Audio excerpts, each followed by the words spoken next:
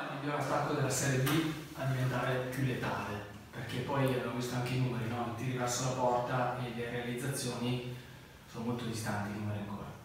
Sì, troppo, troppo a mio avviso nelle ultime partite è stato così, è vero abbiamo, fatto, abbiamo segnato poco ma abbiamo creato tanto e lì eh, al di là di lavorarci in settimana ci vuole la, la giusta cattiveria, la voglia di fare gol, la voglia di, di, di mettere la palla dentro e non eh, cercare la cosa più difficile o la, la, cosa più bella, bisogna essere molto più efficaci perché anche a Brescia è stato veramente dopo un secondo tempo fatto in quel modo, creando 10 situazioni, non parliamo di 10 palle gol, ma 10 situazioni in cui una squadra deve essere più cinica, più killer, più cattiva, più rabbiosa per, per, per fare gol.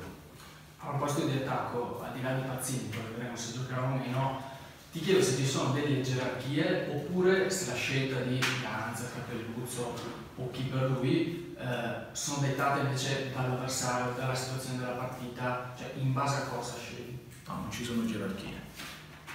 Io penso a questa gara, penso a questa partita, vedo gli allenamenti, vedo la condizione, vedo la condizione generale della squadra, del singolo e chiaramente tengo conto dell'avversario.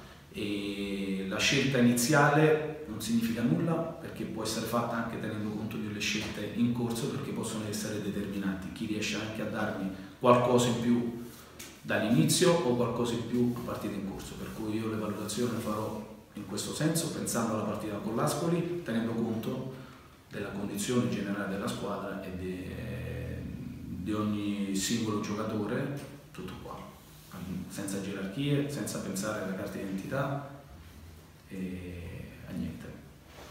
Ehm, so già che direi che partita contro l'Ascoli, però eh, no, è di quello. No, ma tanto voi siete bravi, eh? tanto lo sapete, i dati li conoscete molto meglio di me. L'Ascoli cos'è, come si trova in classifica, i dati in casa, fuori casa e io di questo non parlo con la mia squadra e quindi eh, dobbiamo pensare alla nostra prestazione. Partita impegnativa, perché come del resto sono tutte, e al di là di quello che è la classifica attuale, eh, l'Ascoli, tanto voi le sapete benissimo, quali sono i dati dell'Ascoli. Quindi... È proprio quello che volevo chiedere. Vai. Come si fa a una squadra che adesso ha ripreso fiducia, perché in genere dopo due vittorie consecutive si crede di più nei propri mezzi, come si fa a tenerla ferma lì, piantata per terra, non evitare rischio, dico di sottovalutare l'avversario. Ah, no, beh, io, questo non è, il, non, non è, il, momento, non è, il, non è, la situazione, non è la gara. Sì, abbiamo fatto due vittorie, contenti, eh,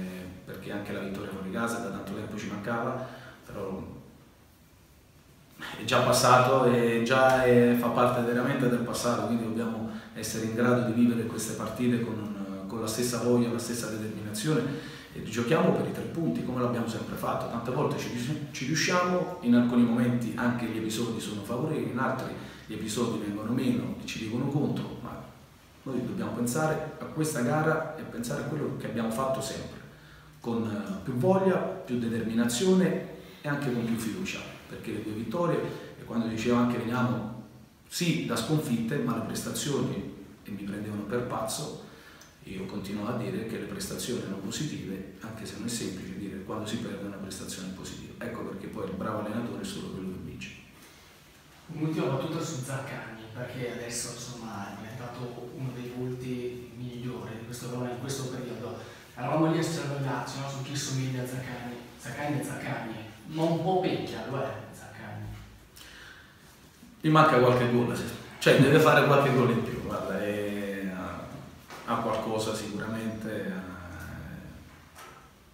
mi piaceva entrare molto di più in aria rispetto a lui, quindi questo è, mi piacerebbe da centrocampista e questa è una cosa sulla quale dobbiamo lavorare, quando fanno le mezzali mi piacciono. Mezzali che arrivano molto di più in aria e Zacca, però Zacca sta crescendo come uomo, come calciatore, sono contento della sua crescita, anche perché è un patrimonio del club, e, però con i giovani bisogna stare a fare molta attenzione, bisogna aiutarli a crescere sia da parte mia insomma, da parte insomma, esterno. Grazie.